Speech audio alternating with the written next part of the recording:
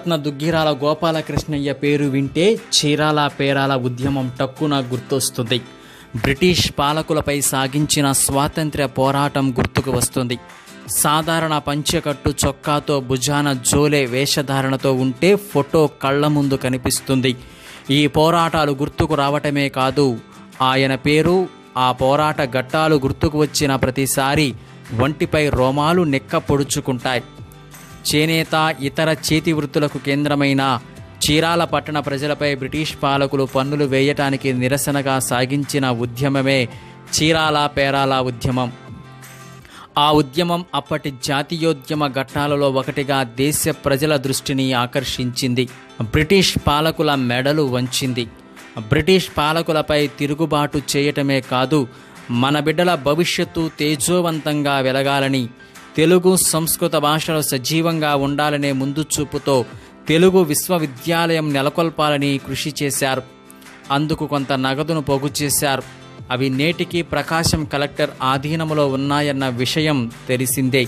అలాంటి స్ఫూర్తివంతమైన నేత జన్మదినం సందర్భంగా డిఎన్ ఫైవ్ ప్రత్యేక కథనం. కృష్ణా జిల్లా పెనుగంచిప్రోలు గ్రామములో పద్దెనిమిది వందల ఎనభై తొమ్మిది జూన్ రెండవ తేదీన దుగ్గిరాల గోపాలకృష్ణయ్య జన్మించారు. ఆయన పుట్టిన మూడో రోజునే తల్లి సీతమ్మ మూడో ఏట తండ్రి కోదండరామస్వామి మరణించారు. అప్పటి నుండి పినతండ్రి నాయనమ్మల సంరక్షణలో పెరిగారు. కూచిపూడి గుంటూరులో ప్రాథమిక విద్య చదువుకున్నారు. హై స్కూలులో చదివే సమయములోనే జాతీయ నాట్య మండలి స్థాపించి సంగీత నాటక కార్యక్రమాలు నిర్వహించారు. అయితే చదువుపై అంత శ్రద్ధ చూపకపోవడం చేత మెట్రిక్యులేషన్లో తొలుత తప్పారు. తరువాత బాపట్లలో చదివి ఉత్తీర్ణుడయ్యారు. నడింపల్లి వెంకటలక్ష్మి నరసింహారావు అనే ఒక మిత్రుని సహాయముతో పంతొమ్మిది వందల పదకొండులో స్కాట్లాండ్లోని ఎడింబరో విశ్వవిద్యాలయంలో ఎంఏ చదివారు. తరువాత ఆనంద కుమారస్వామితో కలిసి కొంతకాలం పనిచేశారు. ఆ సమయంలో నందికేశ్వరుడు రచించిన అభినయ దర్పణం అనే గ్రంథాన్ని ది మిర్రర్ ఆఫ్ గెస్టర్ అన్న పేరుతో సంస్కృతము నుండి ఆంగ్లములోనికి అనువదించారు. ఈ పుస్తకాన్ని పంతొమ్మిది వందల పదిహేడులో కేంబ్రిడ్జ్ హార్వర్డ్ యూనివర్సిటీ ప్రెస్ ప్రచురించింది. అక్కడి నుండి తిరిగి వచ్చాక రాజమండ్రి బందరులో కొంతకాలం ఉపాధ్యాయుడిగా పనిచేశారు. తన స్వతంత్ర భావాల కారణంగా అక్కడి ఉపాధ్యాయ ఉద్యోగాలు వదిలిపెట్టారు. ఆ తరువాత గోపాలకృష్ణయ్య స్వాతంత్ర సంగ్రామంలో భాగస్వామి అయ్యారు. పంతొమ్మిది వందల పంతొమ్మిదిలో బ్రిటి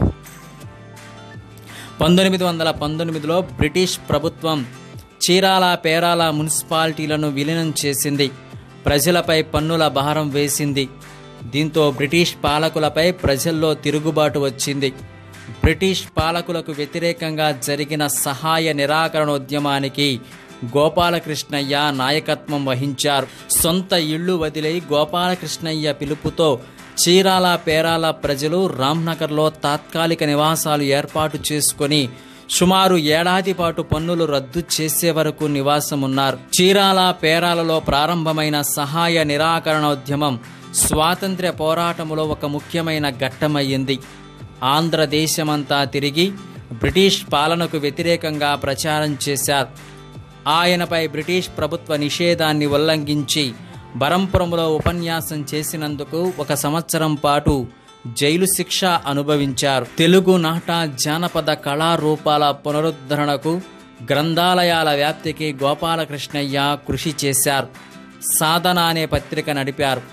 ఆయన ప్రచారము చేసిన జానపద కళారీతులు తోలుబొమ్మలాట జముకుల కథ బుర్ర కథ వీధి నాటకాలు సాముగరిడలు గొల్ల కలాపం బుట్టబొమ్మలు కీలుగుర్రాలు వాలకాలు గోసంగి గురవయ్యలు సరదా కథ కిన్నెర కథ కొమ్ముబూర జోడు మధ్యల పల్లె సుద్దులు తూర్పు భాగోతం చుట్టుకాముడు పిచ్చికుంట్లవాళ్ళ కథ సాధనాసూరులు పలనాటి వీర విద్యావంతులు వగైరా కథలు ప్రజలను ఉత్తేజపరిచాయి. తెలుగు భాషా సంస్కృతి మనుగడపై ముందు చూపుతో తెలుగు విశ్వవిద్యాలయం ప్రకాశములో ఏర్పాటు చేసేందుకు నిధులు సమకూర్చారు. ప్రస్తుతం ఆ నిధులు ప్రకాశం కలెక్టర్ ఆధీనములో ఉన్నాయి. గోపాలకృష్ణయ్య రామార్చన నియమ తత్పరుడు శ్రీరామదండు అనే ఆధ్యాత్మిక జాతీయత స్వచ్ఛంద సమూహాన్ని ఏర్పాటు చేశాడు. పంతొమ్మిది వందల ఇరవై ఒకటిలో గుంటూరులో ఒక సభలో ఆంధ్రరత్నాన్న బిరుతో ఆయనను సత్కరించారు. అనారోగ్యంతో పంతొమ్మిది వందల ఇరవై ఎనిమిది జూన్ పదిన ఆయన తనువు చాలించారు. చీరాల పేరాల ఉద్యమం సందర్భంగా సొంత ఇళ్ళు వదిలి రామ్నగర్లో తాత్కాలిక నివాసాలు ఏర్పాటు చేసుకున్న ప్రజల అవసరాల కోసం తవ్విన బావి చీరాల ఆర్టీసీ గ్యారేజ్ ప్రహరీ ఆనుకొని శిథిలావస్థలో దర్శనమిస్తుంది. గోపాలకృష్ణయ్య పేరుతో చీరాలలో పార్కు ప్రభుత్వ ఏరియా వైద్యశాల దుగ్గిరాల గోపాలకృష్ణయ్య మూడు వందల చేనేత కాలనీ ఉన్నాయి.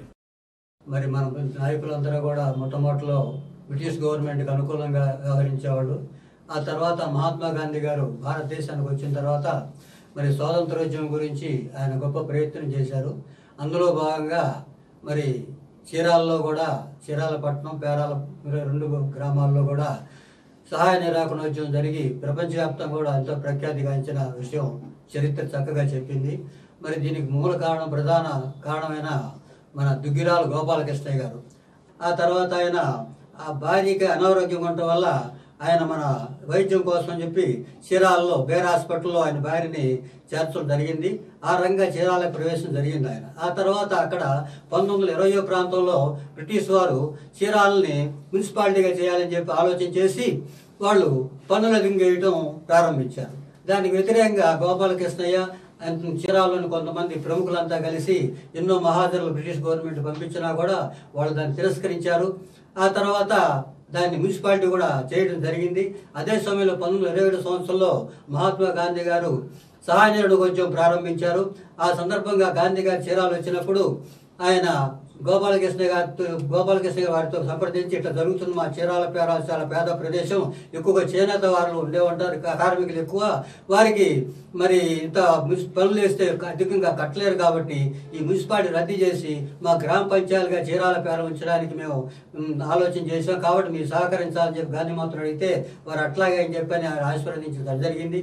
ఆ తర్వాత బ్రిటిష్ వారు ఒకటే మాట చెప్పాడు గాంధీజీ గారు మీరు ఇక్కడి నుంచి వెళ్ళిపోయి ఎక్కడన్నా దగ్గరలో కుటీరాలు వేసుకుని ఉండండి. అప్పుడు గవర్నమెంట్ మీకు మీకు జోలికి రాకుండా ఉంటుందని చెప్పి ఆయన సలహా ఇవ్వడం జరిగింది. ఆ తర్వాత వారు కొంతమంది ఏమన్నా మన ప్రస్తుతం ఈరుపాలెం పరిసరాల రామనగరం ఒకటి.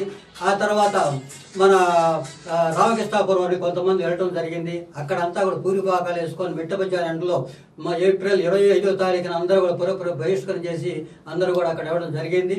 ఆ సందర్భంగా దగ్గర దగ్గర పది నెలల పాటు ఆయన ఆ గ్రామాల్లో ఎండనక వాననక ఆ మట్టి దెబ్బల మీద చిన్న చిన్న పూరి గుడుసులు వేసుకొని ఒక ప్రత్యేకమైన ఒక గ్రామ పరిపాలన సాగించిన మహాన్ వ్యక్తి మన దుగ్గిరాల గోపాలకృష్ణ గారు.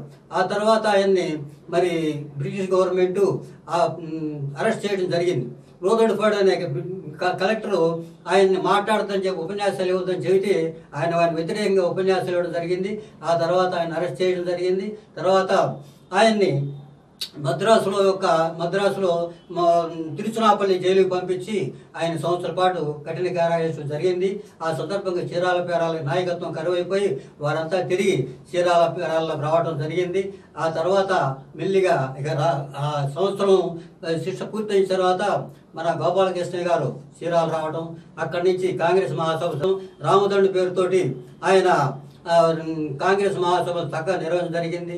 ఆ తదనంతరం ఆయన విద్యాపీఠ కూర్చొని ఒక విశ్వవిద్యాలయం స్థాపించుకోవాల్సిన పోయి గవర్నమెంట్ని యాభై ఎకరాలు అడగ ఇస్తే జరిగింది. కానీ మహాత్మా గాంధీ గారు పంతొమ్మిది వందల ఇరవై ఒకటిలో వచ్చినప్పుడు ఆయన ట్రాన్స్లేషన్ జరిగింది తెలుగులోకి. అప్పుడు బ్రిటిష్ గవర్నమెంట్ కోపడి కోపం తెచ్చుకొని ఆయన్ని ఇచ్చిన యాభై ఎకరాలు కూడా తిరిగి తీసుకోవడం జరిగింది అనమాట ఆ తర్వాత దాతల దగ్గర నుంచి ఇరవై ఎకరాలు తీసుకోవడం జరిగింది.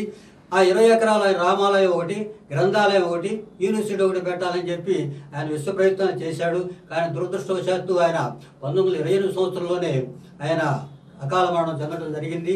ఆ తర్వాత ఒక ఆయన ఆయన స్థాపించిన విద్యాపేట గోష్ఠి కొంతకాలం జరిగింది. ఆ తదనంతరం అక్కడ స్థలం ఆ ఇరవై ఎకరాల స్థలం ప్రభుత్వానికి ఆ ట్రస్ట్ వాళ్ళు ఐటీడీ కంపెనీ ఐటీడీ కాకుండా మన గ్యారేజీ గ్యారేజ్ ఆర్టీసీ గ్యారేజీకి అమ్మడం జరిగింది. ఆ ఇరవై ఎకరాలు అమ్మిన తర్వాత దాని తాలూకు దగ్గర దగ్గర ఐదు లక్షల రూపాయలు ఆ నిధి రావడం జరిగింది. ఆ ఐదు లక్షలు కూడా ఆ ట్రస్ట్ వాళ్ళ దగ్గర ఉంటే మరి దుగ్గిరాల గోపాలకృష్ణ గారు ఆ రామచంద్రమూర్తి గారు ఆయన ఆ ట్రస్ట్ యొక్క ధనం మాకు రావాలని చెప్పి కోరడం జరిగింది. ట్రస్ట్ వారికి రామచంద్రమూర్తి గారికి ఇద్దరు కూడా కోర్టుకు వెళ్ళడం జరిగింది.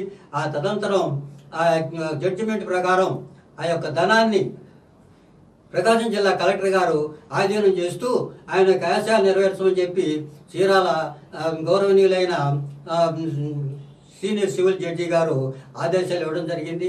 కానీ ఈ రోజు గారు కూడా మన జిల్లా కలెక్టర్ గారు కానీ నాయకులు కానీ అధికారులు కానీ ఈ విషయం ఎటువంటి శ్రద్ధ తీసుకోకపోవడం చాలా విచారకరం. కాబట్టి ఇప్పటికైనా కానీ ఆంధ్రరత్న గోపాలకృష్ణ గారి ఆశయాల్ని నెరవేర్చడానికి మరి ప్రభుత్వం జిల్లా అధికారులు నాయకులు అందరూ కూడా కృషి చేసి ఆయన ఆశయాలు ఎస్ఎస్సి రెండు వేల పంతొమ్మిది ఫలితాల్లో Shri Gautami number one.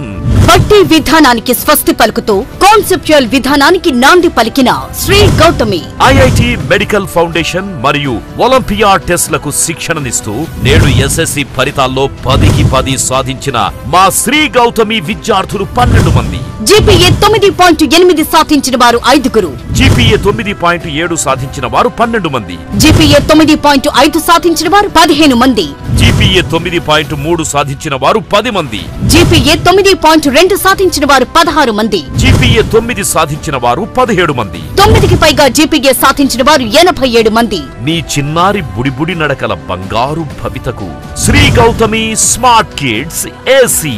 Nursery to fifth class. CBSE syllabus SSC రెండు వేల పంతొమ్మిది ఫలితాలలో చీరాల సందీప్ సంచలన ఫలితాలు. హాజరైన వారు నలభై ఆరు మందితో నూరు శాతం ఉత్తీర్ణత సాధించింది Sandeep English medium school. State first grade. పదికి పది జీపీఏ సాధించిన వారు నలుగురు. D Poojitha GNV Kiranmayi P Amrutha P Vineela. తొమ్మిది పాయింట్ ఎనిమిది జీపీఏ సాధించిన వారు ఆరుగురు. తొమ్మిది పాయింట్ ఏడు జీపీఏ సాధించిన వారు ముగ్గురు. తొమ్మిది పాయింట్ ఐదు జీపీఏ సాధించిన వారు ఇద్దరు. తొమ్మిది పాయింట్ మూడు జీపీఏ సాధించిన వారు ఇద్దరు. తొమ్మిది పాయింట్ రెండు జీపీఏ సాధించిన వారు నలుగురు. తొమ్మిది జీపీఏ సాధించిన వారు ముగ్గురు. ప్రతి ఇద్దరిలో ఒకరు. తొమ్మిది పాయింట్లకు పైగా ఇరవై నాలుగు మందితో విజయ ఢంకా మ్రోగించింది Sandeep English medium school. Shri Kamakshi care hospital church road Chirala. Cell nine triple zero eight zero eight one nine eight. Managing director Tadivalasa Devaraju MBA BL రెండు వేల పంతొమ్మిది ఇంటర్ ఫలితాలలో చీరాల శ్రీ మేధావి ప్రభంజనం. జూనియర్ ఇంటర్లో స్టేట్ ఫాస్ట్. పదికి పది GPA సాధించిన వారు ఇరవై నాలుగు మంది. తొమ్మిది పాయింట్ ఐదు జీపీఏకి పైగా యాభై మూడు మంది. తొమ్మిది జీపీఏకి పైగా ఎనభై ఏడు మంది. ఎనిమిది జీపీఏకి పైగా నూట నలభై ఏడు మంది. మొత్తం అన్ని సబ్జెక్టుల్లో ఐదు వందల యాభై మూడు ఏ వన్ గ్రేడ్లతో శ్రీ మేధావి విజయ గర్జన. సీనియర్ ఇంటర్లో స్టేట్ ఫస్ట్ పదికి పది జీపీఏ సాధించిన వారు పదిహేడు మంది. తొమ్మిది పాయింట్ ఐదు జీపీఏకి పైగా ముప్పై ఒక్క మంది. తొమ్మిది జీపీఏకి పైగా యాభై నాలుగు మంది. ఎనిమిది జీపీఏకి పైగా నూట మూడు మంది. అన్ని సబ్జెక్టుల్లో నాలుగు వందల ముప్పై తొమ్మిది ఏ వన్ గ్రేడ్లతో శ్రీ మేధావి